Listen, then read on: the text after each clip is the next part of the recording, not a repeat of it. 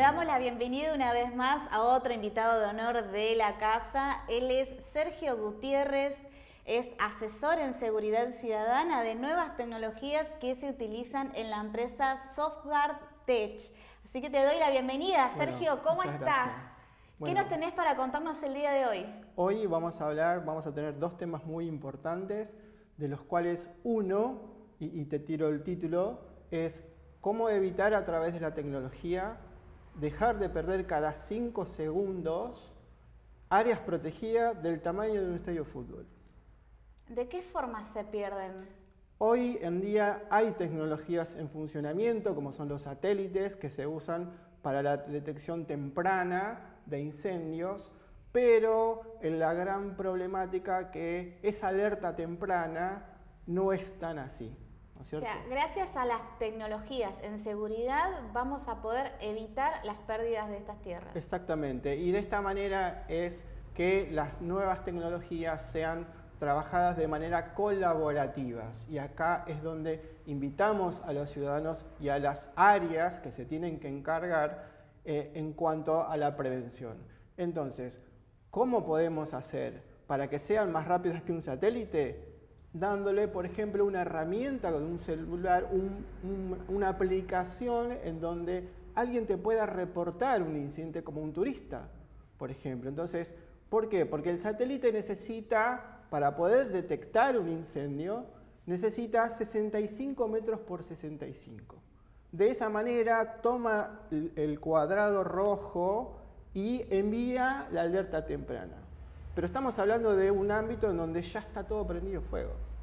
Empiezan a trabajar ya no tanto en la prevención eh, activa, sino eh, pasiva, porque eh, enseguida tiene que ir los incendios, los bomberos, bueno, pero ya se está trabajando sobre un fuego. Entonces, si yo le doy una herramienta colaborativa a un turista, por ejemplo, puede enviar una alerta a través de una aplicación en donde solo haya un humo pequeño, ya puede enviar una alerta al centro de monitoreo, ya sea provincial, municipal o al área que ya tiene que empezar a trabajar en esa prevención. Fíjate cuál es la diferencia entre detectar cuando ya hay un incendio y detectar cuando hay algo que pueda crear un incendio.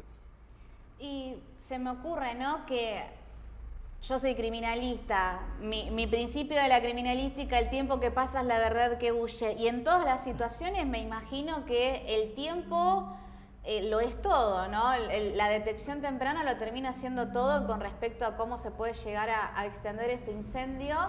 Y se me ocurre también, Sergio, que nosotros en esta época del año estamos con un pie casi en el verano.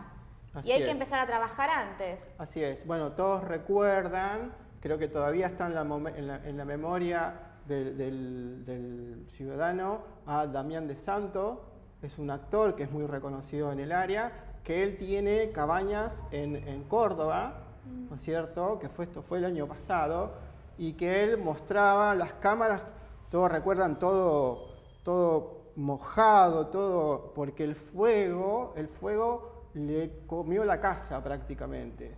Él mm, estaba tranquilo en su cabaña y de repente el viento viró, cambió y las cabañas que, él tiene, que creo que alquila, es un, complejo de alquilar, cuando quiso acordar el fuego lo tenía encima.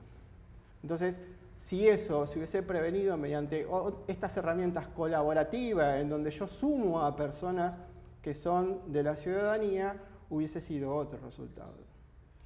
Y a ver, uno cuando piensa en tecnologías de seguridad piensa en cámaras, piensa en alarmas, cuestiones. Quizás uno no lo relaciona ¿no? Con, los incendios forestales. ¿En qué otras situaciones, por ejemplo, se pueden utilizar estas tecnologías? Eh, sí, lamentablemente hoy cuando se habla de tecnologías en seguridad ciudadana, uno automáticamente por cuestiones hace cámaras, patrulleros y tótems de seguridad, que es lo que todo el mundo ve, o por lo menos lo que se publica. ¿Por qué? Pues bueno, tiene, también tiene que ver una cuestión hasta de, la localidad donde se quiere mostrar, ¿no es cierto?, cada gobernante. Entonces, acá es importante que la nueva tecnología pueda tener información en tiempo real de las personas que están en el campo, donde están distribuidas, quién está más cerca, ¿no es cierto? ¿Qué, ¿Qué equipo de bomberos está más cerca y a quiénes puedo yo enviar una alerta más próximo? Bueno, todo eso hace el sistema, porque la tecnología no es solamente eh, eh, las cámaras, la tecnología tiene que ver con las herramientas que uno le da a los cuerpos, ya sea de prevención o policiales, para el uso que genere información, que esa información va a generar prevención. Y sobre, sobre esa información es donde se trabaja. Por ejemplo, que haya una aplicación en donde un guardia del bosque pueda ir leyendo un QR en cada puesto del bosque para tener más o menos localizado por dónde está y si pasa algo, tengo la ubicación exacta para poder enviar los cuerpos de rescatistas, por ejemplo. O bueno, como hablamos recién, un turista, yo le puedo dar una herramienta en donde si se pierde o si le pasa algo, tengo la ubicación en tiempo real. Hoy los operadores de los centros de monitoreo pueden ver hasta el nivel de batería que tiene el usuario. Entonces, si yo tengo el nivel de batería eh, eh, y veo que hay un 60%, ya tengo que estar informando a las áreas que tengo ese tramo para trabajar en tiempo real y saber dónde está exactamente esa, persona. Así que imagínate que hoy la información es todo, pero la tecnología bien usada, generando información para eh, poder tomar mejores decisiones, es importante. Vamos a seguir hablando de la tecnología, pero ahora vamos a hablar de algo muy importante. Hubo un, hace 20 días más o menos, tuvimos cinco casos de femicidio en tres días en la provincia de Buenos Aires. O sea, eh, esto para que te des una idea eh, en dónde estamos parados en cuanto a eh, violencia en motivo de género, pero por qué nos están usando tecnologías que quizás pueden hacer prevención real, pero además pueden salvar vidas. Y esto lo, he visto en el caso del femicidio de Campana. Lamentablemente hubo una, mujer que se encontró con su agresor, este, la invitó a la casa, ¿no es cierto? Eh, pero si no hubiese sido por una cámara de un vecino, no se enteraban qué hubiese pasado hoy. Y esa persona no solamente la, la golpeó, y a raíz de ese golpe le causó la muerte, sino que la incineró en la parrilla de su casa. O sea, para que decir el nivel del agresor. Entonces, si ese vecino no hubiese aportado esa cámara de seguridad, todavía no hubiese estado resuelto. Entonces, ¿cómo podemos aportar desde la tecnología para que esto no suceda? Yo en mi teléfono, por ejemplo, tengo una aplicación en donde tengo algo que se llama En Camino, por ejemplo, que es un guardián virtual en donde yo configuro cuánto voy a tardar en llegar al otro punto. Puedo caminar, puedo ir en auto, puedo estar en colectivo, en bicicleta. Esta mujer había salido a pasear al perro. Entonces, si yo configuro, hago así, configuro 30 minutos. En el minuto 31 se dispara la alerta ya sea a monitoreo o al personal o a su propio grupo familiar. vos fíjate qué importancia. Si en ese momento hubiese tenido esa herramienta de aviso, en donde al minuto que ya terminó la recorrida, ya salían a buscarlas.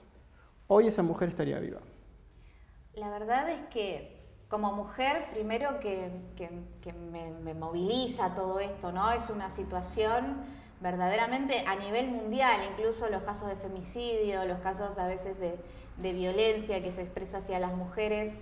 Pero mm, mi, pregunta, mi consulta es, Sergio, ¿el contar con estas tecnologías es algo caro? No, para nada. Es una tecnología muy accesible para cualquier municipio o gobierno de cualquier tamaño el problema es el enfoque que le dan en cuanto a la prevención, eh, porque hoy los gobiernos lo que hacen es responder ante un oficio que manda un juez. Entonces, contraprestación de ese oficio se entrega una herramienta como un botón antipánico, por ejemplo. Pero, lamentablemente, esto sucede en un 20% de las víctimas y de las mujeres. Estamos dejando afuera un 80%. Un 80% de las cuales esa mujer no te va a consultar nada, no te va a denunciar nada, no, no, va a poder hablar.